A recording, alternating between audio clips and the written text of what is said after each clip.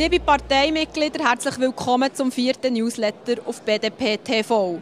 Das Hauptthema heute ganz klar Delegiertenversammlung mit der Parolenfassung und der ersten Geburtstag vor BDP. Neben mir Bundesrätin Evelyn Wittmer-Schlumpf und der Parteipräsident Hans Grunder. Zuerst natürlich zur Bundesrätin, Frau Evelyn Wittmer-Schlumpf. Was war der Höhepunkt von diesem Jahr? Ja, der Höhepunkt ist natürlich jetzt der erste Geburtstag können zu feiern, zurückzuschauen, sagen, in der Bilanz haben wir einen ganz guten Weg miteinander gemacht und miteinander sehr viel erreicht. Für euch, Herr Grunder? Also für mich ist ganz eindeutig die Wahl von Martin Landolt äh, in Nationalrat der Höhepunkt gewesen, weil wir damit Fraktionsstärke erreicht haben und dann hat es bei mir einen richtigen Motivationsschub gegeben. Wann hat es mal nicht so gefällt? Ja, es hat natürlich verschiedene Phasen gegeben, äh, wo man äh, stark unterdurch hat müssen. Ich denke auch äh, an den Rücktritt von Samuel Schmid, der natürlich ja, sehr bitter war. Aber wir haben immer wieder im gleichen Strick gezogen, zusammen, zusammen wieder neue Sachen ausgeheckt. Und von dort her tut das Positive bei weitem überwiegen. Ich glaube, Herr Grunder hat es angesprochen. Ich glaube, der Zusammenhalt der hilft über vieles hinweg, oder Frau Wittmer-Schlumpf? Ja, und es ist natürlich so, seit wir eine Fraktion haben, also seit dem Sonntag, wo der Martin Landolt dazugekommen ist, hat es uns natürlich einen unheimlichen Auftrieb gegeben. Für mich selber ist es äh, ein, ein ganz wichtiges Gefäß zum Politisieren, wobei ich bin auch vorher natürlich mit unseren BDP-Mitgliedern immer wieder zusammen gewesen, um probieren einen Weg zu finden. Aber jetzt haben wir so eine gesicherte, gute Struktur und das Gefäß, wo wir uns immer wieder treffen und miteinander können diskutieren, politisieren, Weg suchen. Nicht nur dort, auch sonst natürlich, das ist klar. Was ist jetzt das wichtigste Ziel nächstes Jahr? Ja, also die Wahlen, die bevorstehen, dort zeigen, dass wir mit unserer Politik Erfolg haben, dass wir etwas erreichen können miteinander. Und ich gehe auch davon aus, dass wir sowohl im Kanton Bern als auch im Kanton Glarus und auch im Kanton Graubünden Erfolg haben werden. Für euch, Herr Grunder? Es ist klar, bei mir ist es ähnlich. Das Jahr 2010 ist sehr wichtig. Äh, dort legen wir den Grundstein legen für die eidgenössischen Wahlen. Äh, wir haben die glückliche Situation, dass wir Wahlen haben in den drei Gründerkantonen, wo wir schon heute stark sind. Und ich bin überzeugt, dass wir dort Wahlsiege werden können feiern. Wir sehen das jetzt gerade im Kanton Bern, wo als Erster dran kommt, wo wir bei kommunalen Wahlen Wochenende für Wochenende im Moment als Wahlsieger hervorgehen. Und das stimmt mich zuversichtlich. Aber äh, es ist sehr wichtig. Es ist weiterhin Knochenarbeit gefragt. Äh, wir müssen Säckchen hinterlitzen, sonst äh, werden wir das Ziel nicht erreichen.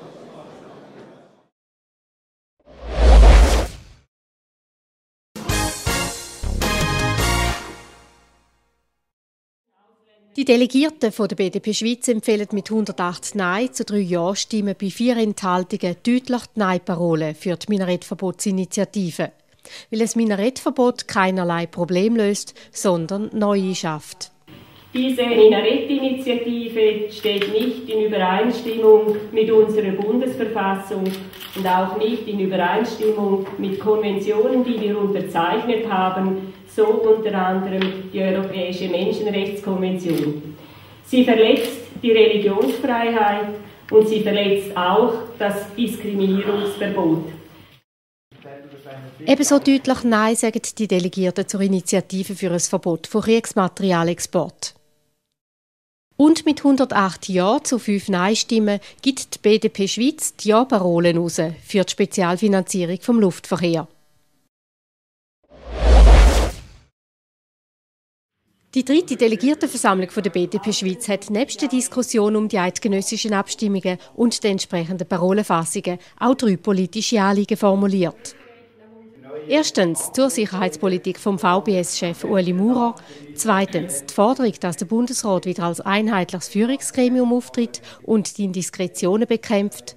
Drittens setzt die BDP den Hebel an, um die Blockadepolitik von ganz links und ganz rechts anzugehen. Und natürlich ist auch gefeiert worden, der erste Geburtstag der BDP Schweiz.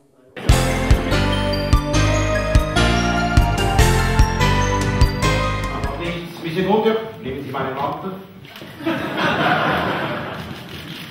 Madame Wittmer-Schlupf, Sie dürfen meinen Hut halten.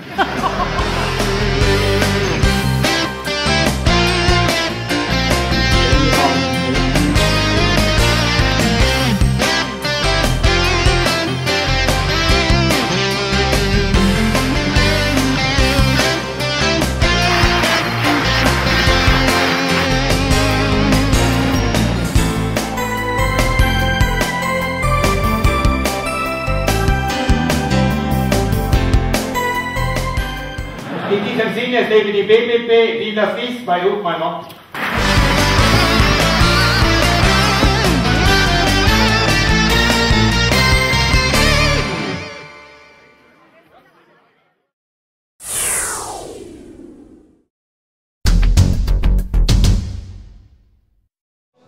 Im Kanton Zürich werden immer mehr Sektionen gegründet. Und was läuft sonst noch bei der BDP Zürich?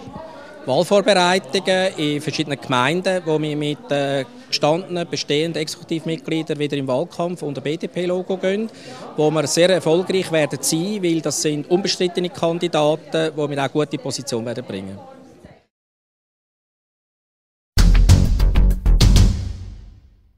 Die erste Wahlkreispartei ist gegründet worden im St. Gallischen, also im Toggenburg, im Toni-Brunner-Land. Wie schwierig ist das gewesen? Es war nicht so schwierig, weil die Sympathie der Leute, das hat man wirklich gemerkt, die liegt bei uns. Man hat es auch bei Standaktionen gemerkt, dass die Leute wirklich uns gerne zulassen, auch uns gerne ihre Meinung sagen. Und das freut einen und, und so merkt man es auch, dass man willkommen ist. Weitere Wahlkreissektionen folgen diese Woche im Sarganserland und bis Ende Jahr im Rheintal.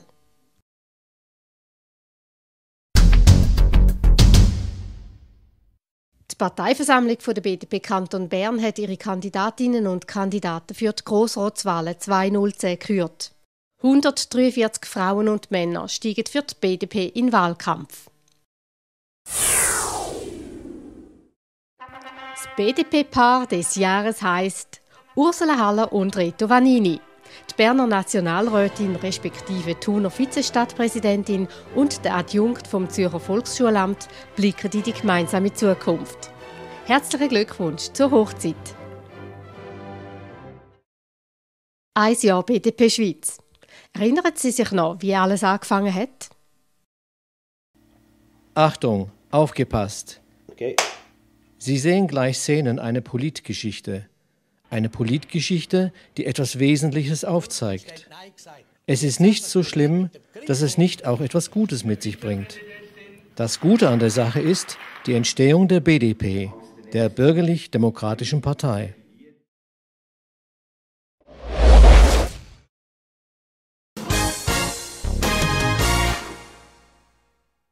Majorité absolue 122. Absolutes Mehr 122. Est élu avec 125 voix. Gewählt ist mit 125 Stimmen. Madame Widmer-Schlumpf. Eine demokratische Wahl, ein demokratischer Entscheid. Doch wo bleibt die demokratische Toleranz in gewissen Kreisen? Die autoritäre Linie der SVP wird offensichtlich und auch von außen spürbar. Eine gefährliche Entwicklung, wenn man nur noch schwarz-weiß sieht. Vielfalt machte bis anhin die Demokratie lebhaft und spannend. Das soll auch in Zukunft so sein. In diesem Sinne erkläre ich Annahme der Wahl.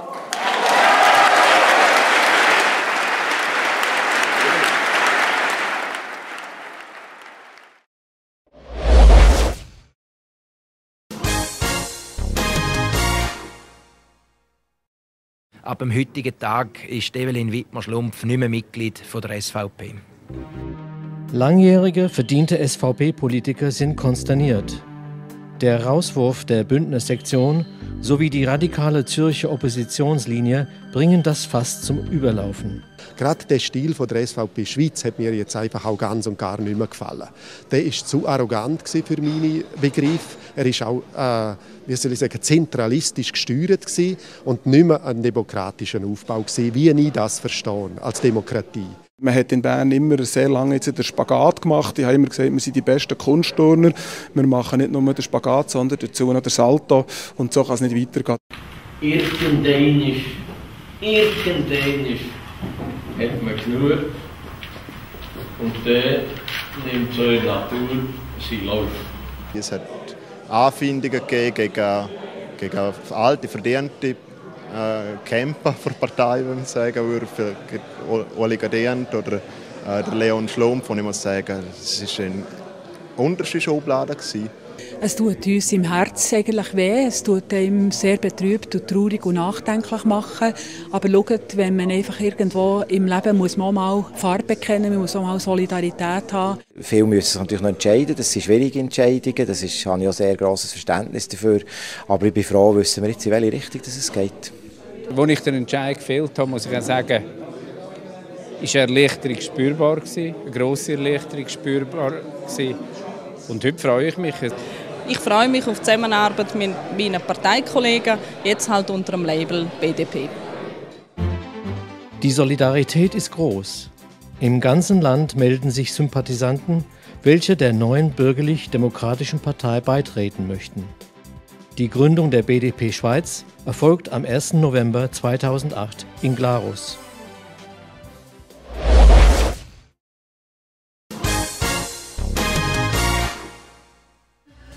Schweizerin oder Schweizer des Jahres 2008 ist Bundesrätin Evelyn Wittmer-Schlumpf.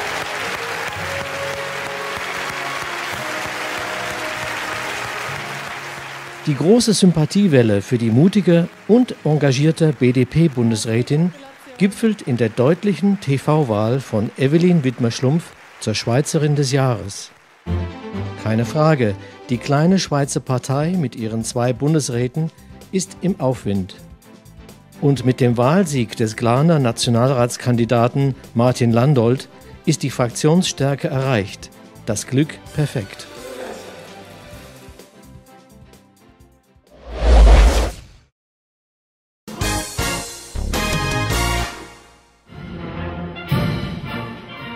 Je größer der Erfolg der BDP, desto aggressiver die Angriffe der Gegner. Angriffe, die verletzen und selbst den strammsten Soldaten irgendwann krank machen. Der ist so unter Druck gesetzt worden. Darum äh, begreife ich das, dass er zurückgetreten ist. Schade.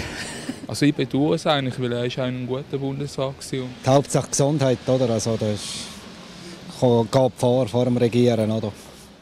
Es ist wirklich nicht immer einfach. Wir äh, sehen uns auch immer mit Aggressionen konfrontiert und dort muss ich einfach sagen, ruhig bleiben, sich nicht äh, auf äh, Diskussionen einlassen, sondern sachlich argumentieren, warum dass wir uns abgespalten haben und äh, dann auch immer darauf hinweisen, dass eben auch doch ein Bedürfnis ist.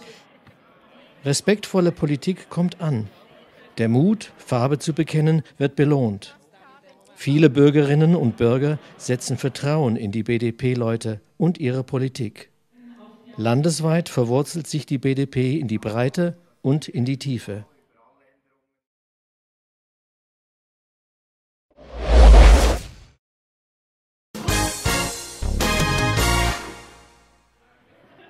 Die Geschichte der BDP ist ein Phänomen.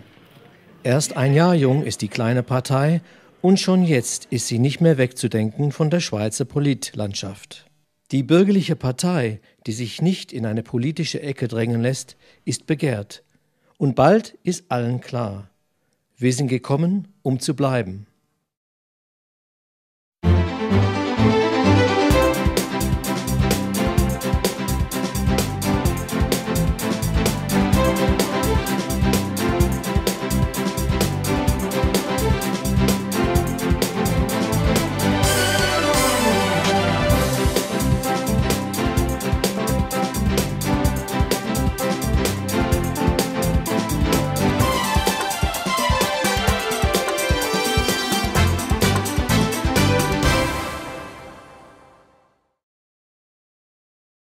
Ja, liebe Parteimitglieder, das war es auch schon wieder. Der nächste Newsletter gibt es Mitte November und jetzt bleibt uns eigentlich nur noch eins, nämlich anzustoßen.